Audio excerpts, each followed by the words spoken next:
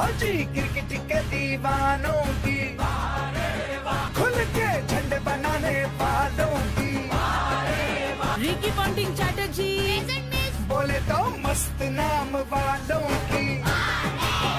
मस्त में जोश बढ़ाने वालों की। जोश भरे दस सालों